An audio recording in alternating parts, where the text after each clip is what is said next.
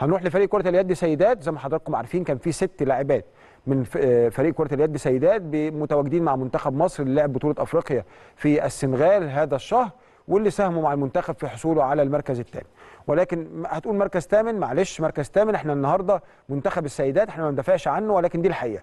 المنتخب قعد 10 سنوات لا يشارك في أفريقيا.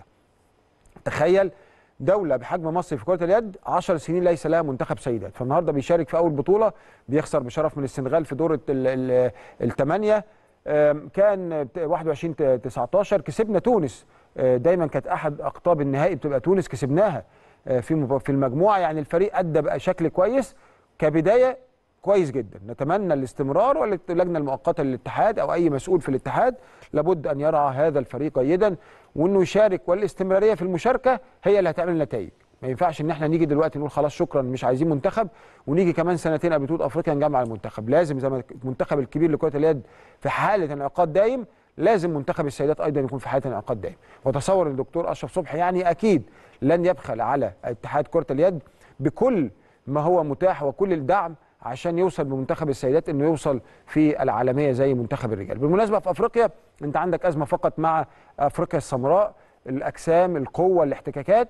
دي ممكن تيجي مع التدريب الجيد ومع الاستعداد ومع ال technicality العالية. في الحالة دي هتقدر تتغلب على ال fitness. فإذا نتمنى إن المنتخب السيدات يستمر ويستمر الدعم بهذا الشكل. كان في ست لاعبات من هم؟ عندنا منة الله سيد ليلى هيثم شهد آه، آه، الشواربي أمينة هشام تقى كامل وأمينة عاطف دول كانوا السداسي اللي مشارك مع منتخب مصر. كابتن محمد عادل زويل المدير الفني اداهم راحة.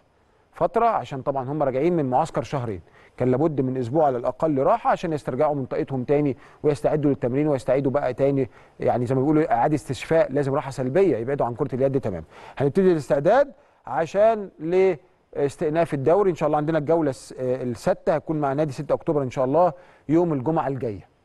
بعد استئناف بقى الدوري إن شاء الله الجمعة الجاية. مش هيبقى فيه تجمعات للمنتخب. أنتوا عارفين الفترة اللي كانت قبل كده شهدت إن الفرقة دي خسرت مباراتين نتيجة إن لعيبة النادي الأهلي 10 لاعبات بيشاركوا في معسكر المنتخب خمس أيام في الأسبوع بيرجعوا ليلة تمرين واحد وبعد كده يلعبوا مباراتين فما كانش فيه هارموني مع آه، الفرقه وبعضها بتهيألي من النهارده وطالع مفيش خلاص مفيش اشتراكات آه، دولية مفيش تجمعات.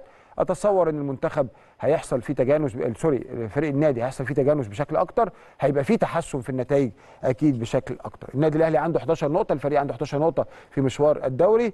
وطبعا يكون من الفوز على المعادي ومدينة نصر والزمالك والخسارة من سموحة والطيران زي ما قلت لحضراتكم.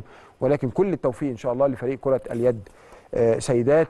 إن هم إن شاء الله يستعيدوا اللقب آه، سواء دوري أو كاس اللي إحنا خسرناهم السنة اللي فاتت. ولكن طبعا آه، آه، وضع طبيعي إنه يحصل بعد 10 15 سنة احتكار للبطولات. قد تبعد عنك البطولات موسم بطولات موسم أو نصف موسم وبعد كده بتستعيد تاني قواك وترجع تاني تقف على رجلك. كل التوفيق إن شاء الله للمدير الفني كابتن محمد عادل واللاعبات